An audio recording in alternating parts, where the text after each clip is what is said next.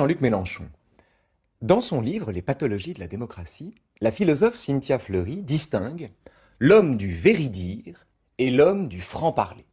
Alors, l'homme du véridire, c'est l'élu qui dit aux électeurs ce qu'il croit vrai plutôt que ce que les électeurs auraient plaisir à entendre. Euh, c'est celui qui promet du sang et des larmes aux Britanniques parce qu'il ne veut pas leur mentir et qui répond toujours aux questions qu'on lui pose, si gênantes soient-elles. L'homme du franc-parler, c'est différent. Quand il s'énerve, c'est pour séduire. La colère l'intéresse plus que la vérité, et l'intensité de ces colères varie selon leur destinataire.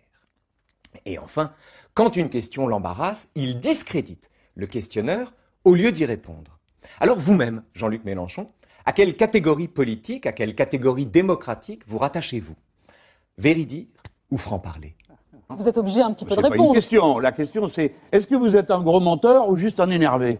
Tu parles d'une question. Alors, je dis aux gens ce que je crois. Ce que je crois peut être erroné, et par nature, ce que je crois est discutable. Car il n'y a pas de vérité définitive, n'est-ce pas? Le philosophe, sans doute, sera d'accord avec moi pour dire que que l'on parle vrai ou que l'on parle franc-parler, de toute façon, la vérité est toujours un objectif. Ce n'est jamais une fin. Et nous n'y accédons qu'à travers la dispute, la discussion. Or, M. Enthoven fait partie de ces gens qui pensent qu'il n'y a qu'une seule ligne possible, une seule politique économique possible, un seul ordre international possible, et tous ceux qui n'en conviennent pas sont d'affreux menteurs, démagogues, etc. Alors, monsieur le philosophe, allons, allons, un petit retour à Platon vous ferait pas de mal.